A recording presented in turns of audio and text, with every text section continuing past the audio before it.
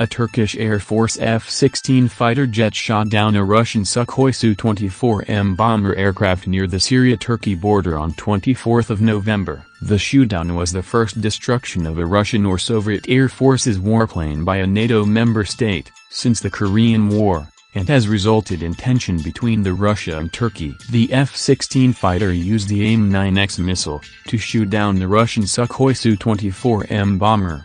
Here are top 5 facts about AIM-9X missile. The AIM-9X is the member of AIM-9 Sidewinder family of missiles.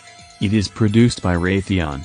It is an infrared air-to-air -air missile primarily developed for the U.S. Air Force and the U.S. Navy. The AIM-9X is currently in service with over 40 countries, making it one of the most widely used missiles in the world. The missile has a length of 3 meters, diameter of 12.7 centimeters, a fin span of 44.4 centimeters and a wingspan of 35.3 centimeters. It weighs approximately 85 kilograms. It carries a 9.36 kilograms annular blast fragmentation warhead.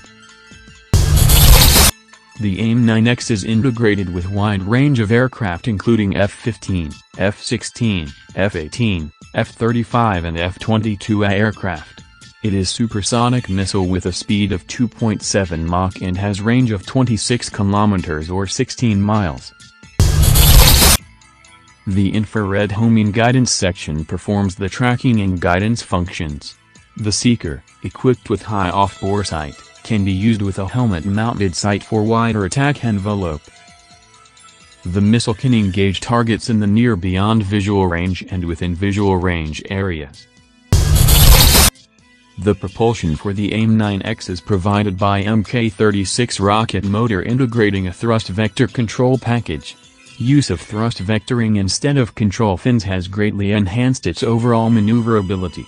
The solid propulsion motor uses a reduced smoke hydroxyl terminated polybutadiene propellant. Thanks for watching.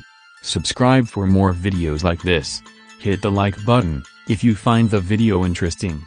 Kindly provide your feedback in the comment section, it will help us improve. The 3M-14 Kalibr is equivalent to the American Tomahawk cruise missile in many parameters